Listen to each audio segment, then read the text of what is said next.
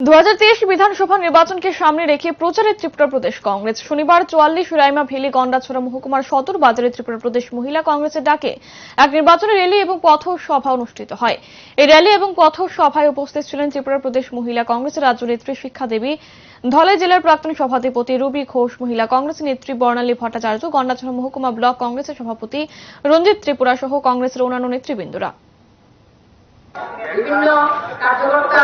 এবং মহিলা কার্যকর্তা কিন্তু সবাইকে আমার বিনম্র শ্রদ্ধা এবং প্রণাম। এবং যারা বাজার ব্যবসায়ীগণ আছেন এবং রাজধানীর জনগণ আছেন এবং পুলিশ প্রশাসন আছেন সবাইকে আমার আন্তরিক অভিনন্দন জানিয়ে একটি কথা বলছি। এখানে